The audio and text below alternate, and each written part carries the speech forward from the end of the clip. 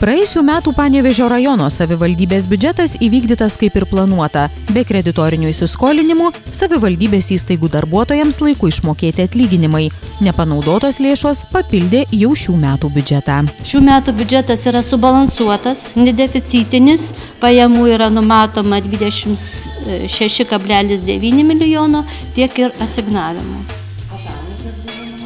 Metų pabaigoje jis buvo tikslintas ir metus užbaigėm beveik su 29 milijonais, nes dalis lėšų buvo gauta ir iš atskirų ministerijų, sakysim, didinant atlyginimus kultūros darbuotojams, bibliotininkams, tiek ir mokytojams buvo didinamas. Tikimės, kad ir šiais metais jis kažkiek bus tikslinamas. Tvirtinant 2016 biudžetą, kai kurie tarybos nariai pasipiktino, kad neatsižvelgta į siūlymus. Esą neįtrauktas finansavimas toms problemams spręsti, apie kurias jau daugelį metų kalba valdininkai, tačiau priemonių nesima jokių. Nesakau, kad blogas biudžetas, mėlyje tarybos nariai ir mėly. Nesakau, kad jisai blogas, bet jis taisytinas. Ir jūs, kaip į mūrą sieną, nei vieną, nei vieną, šiais metais, 16, pirmutiniai metai, kiek aš 12 metų dirbu, nei vieną e, pasiūlymą opozicijos, kuri dar nėra pasiskelbusi opozicija, į dviejų frakcijų, sakykime, pasiūlymą, liberalų ir konservatorių, neatkreipė dėmesį, nepriėmė duomenin. Mes visi turbūt galim kiekvienas čia atsistoję kalbėti ir tą patį pasakyti. Bet aš galvoju, kad pinigų yra tam tikras, mm, nu, maišas, sakykime, iš kurio, nu, negali jam pasemti per daug.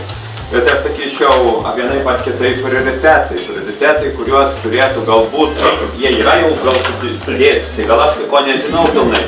Bet e, galbūt, e, aišku, atsiradus laisvų lėšų, galbūt galima būtų, aišku, galbūt kažkokią dalį gatvės asfaltuoti, galbūt, kaip Jonas sako, švietimą, bet galbūt neužteks. Panevėžio rajono meras Povilas Žagunis neatmeta galimybės, kad šių metų biudžetas dar bus tikslinamas. Verčiamės tiek, kiek galim galų galę, jeigu šiais metais mes turėsim palankę situaciją biudžeto surinkime, jeigu mes atsimint reikia esam gaunantis paramą.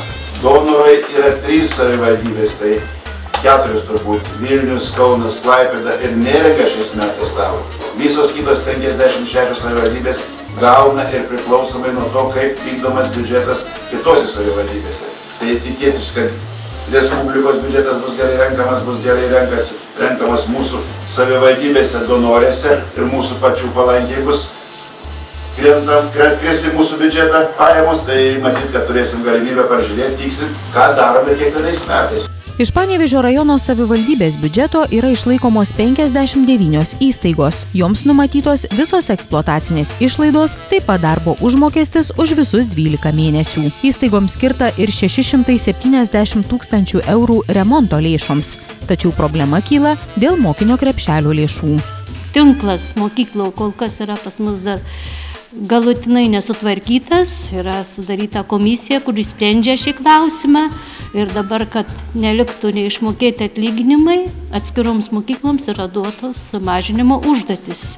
Ir tikimės, kad kažkiek tų lėšų bus taupyta, nes yra neužpildytos klasės, duodami atitinkami priedai, tai matysime metų pabaigoje. Šių metų biudžete yra ir naujovių. ES vykdomi projektai įtraukti į biudžetą, nors anksčiau projektinės lėšos skaičiuodavosi atskirai.